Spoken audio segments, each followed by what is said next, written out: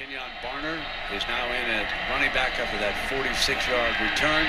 Darron Thomas going to go deep. Got a man open on that far side.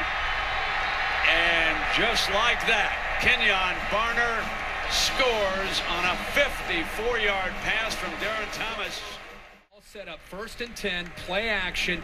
Look at the linebackers and the way the safeties, everybody's consumed with Darron Thomas and the running backs.